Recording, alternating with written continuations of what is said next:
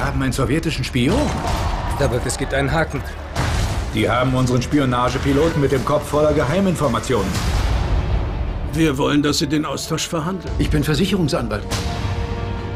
Will ich die überhaupt in die Hand nehmen? Sind Sie gut in Ihrem Beruf? Das wird für uns beide das erste Mal.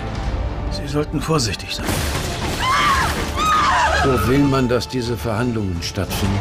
Ostberlin.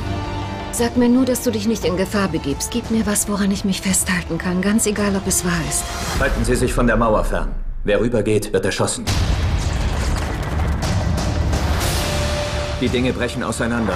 Ihre Position oder die Ihrer Regierung? Wir müssen das bereden, was unsere Regierungen nicht bereden können.